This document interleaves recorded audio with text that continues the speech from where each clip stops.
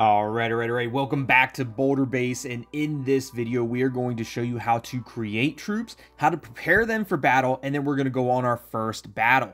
And in that battle, I do believe we will be able to obtain the blueprints to a cannon.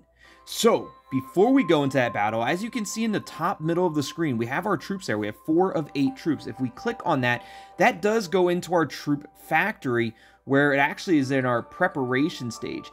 Now, as you can see, I do have two robots and two Scorp Spiders. I don't have anything else. I don't have any artillery, don't have any heal bots. But what I want to do is actually create two more robots and two more Scorp Spiders. You can see that there is a unit size.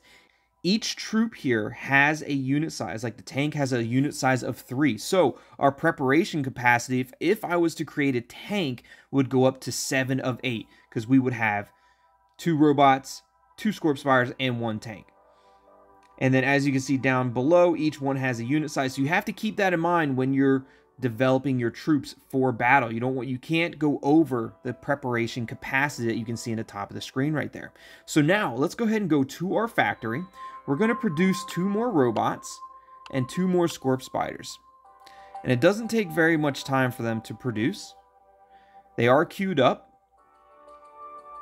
And so now if we go back to our preparation, you can see that our preparation capacity is still at 4 of 8, but that's because we haven't added any additional robots or Scorp Spiders to our army.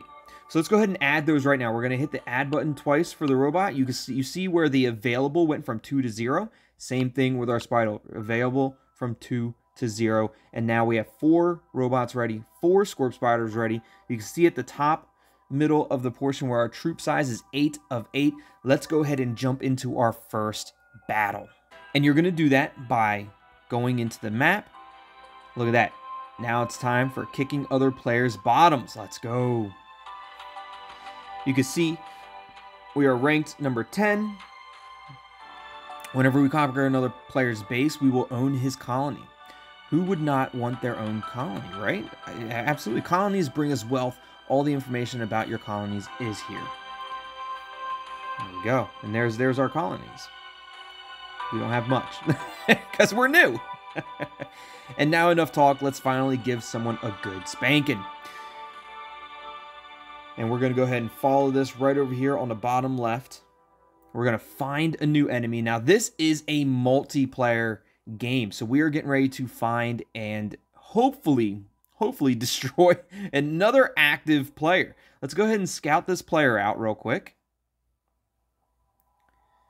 All right, they they've got they've got a they got a they've got a little bit of a base here. This is a small base. They've got one cannon. It looks like it's upgraded. You know what? I think we can take them out. Let's go ahead and attack. We have our troops here at the top right. We got four robots, four Scorp Spiders. Let's go ahead and send the robots. The Scorp Spiders are faster than the robots on land, so we're going to send the robots first. Then we'll send our Scorp Spiders after. The Scorp Spiders should keep, uh, catch up to those robots. We're going to go and destroy that, that, that, that, that sniper tower and then take over their base. And again, this is a multiplayer game. We are attacking another person at the at this point in time. And it doesn't even look like they're tower is even shooting at us. Wow, we just destroyed them. So now our robots are going to overtake that base, and this will be our new territory. Enemy Sandway. We just destroyed Sandway.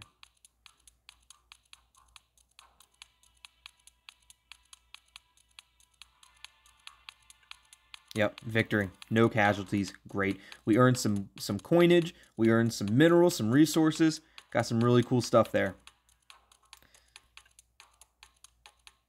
And now that we've taken over this base, what you want to do is set up your defense. So let's go ahead and add our sniper tower here. You can click on it. You can move it anywhere you want. Let's go ahead and just move it right over here. And that's perfect. Now, it's cool that we've just taken over that one colony, the Sandway colony. We can actually, we're starting to accrue some more resources and coins. So you can see there, we do we don't have any resources and coins yet in the bank, but when we do, we can call that transport and it'll bring those resources over to us at our home base. And as you can see here, we have coins per hour is 26, titanium per hour, 13. In the next video, I'm going to show you how to attack and take over the base just to the right of our home base. When we attack and take over this, blade, this base, it's going to provide us a blueprint to build the sniper and discover our first hero, Miss Hit Hero. So I hope you guys are enjoying these tutorials. Hopefully they're helping, and if they are, hit that like button, subscribe to the channel if you haven't already, and join the Tethered. As always, thanks for watching. Love you all, and we'll see you next time. Goodbye.